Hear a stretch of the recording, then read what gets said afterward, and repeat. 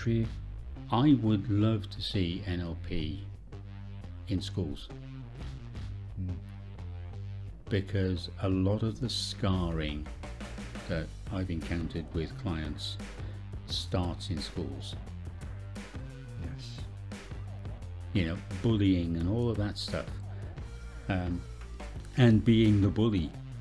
That lead, yeah, So for people that are obviously there's, we can't say similar situations because everybody's trigger points and everybody's yeah, version of reality is different. But for people that are going through these things and they are interested in learning more um, about NLP, what would you what would you be advised to be the first steps? work out why. Work out what it is you want to achieve. Hmm. Um, it, because if you don't know why you want to change things, then there's no point in trying to. It's almost like an acceptance because they got to first they got to want change to Yeah. happen, and Yeah. then the why of th- The why is the reason for the, for the want. want. Brilliant. Yeah. So you work out why. Once you understand why, that generates a want, and the want will lead you into seeking the help. Fantastic. And what are you looking forward? Well, I would say looking forward to, but how do you see NLP? Do you see NLP gaining more traction in this country? I would love to see NLP in schools Hmm. because a lot of the scarring that I've encountered with clients starts in schools. Yes.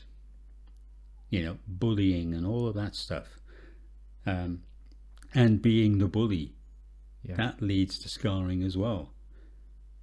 Um, so, you know, a lot of this stuff, if you, if they started using some of the NLP tex- techniques, started understanding what's going on better, they could stop a lot of it. That's fantastic.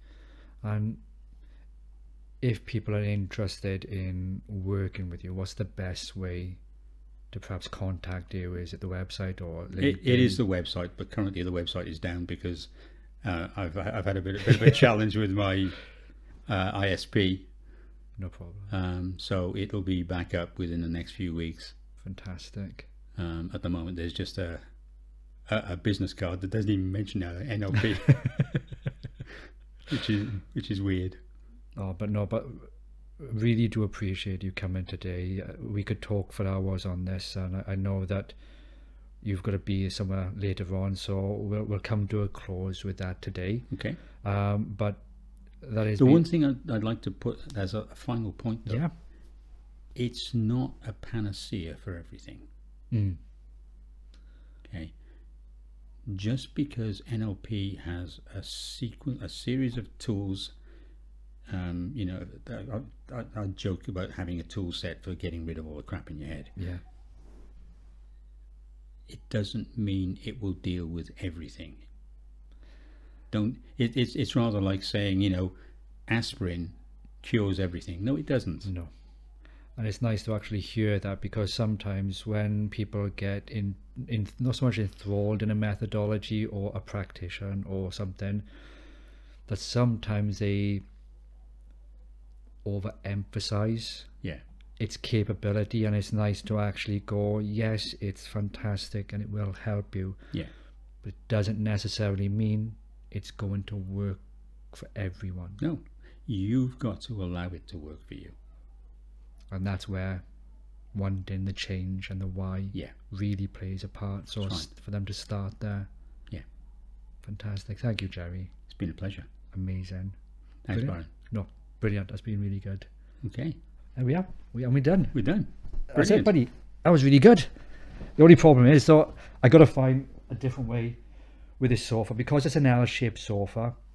It's a bit nightmare, and now my hip Yeah, It's same here. just gone. it's just gone. It's like I'm, I'm moving out now slowly, and I'm like, don't kick something, don't kick something. and I, I'm, I'm going off to walk around Nash Point. Oh